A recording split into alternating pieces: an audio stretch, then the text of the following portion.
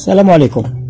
اليوم نعرفكم بالمستشفى آه، نتاع الاستعجالات الطبية الجراحية الذي يقع في بلدية آه، زيرالدا بإقليم ولاية الجزائر العاصمة والذي لا يبعد لا يبعد على على المدينة الجديدة تاع سيدي عبد الله إلا بحوالي ثلاثة أو أربع كيلومترات.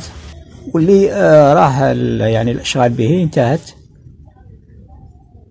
و آه، يعني يقرب تاريخ الافتتاح نتاعو.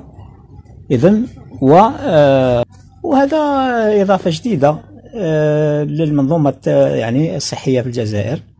وإن شاء الله المزيد من هذه المستشفيات في كل ولايات الوطن.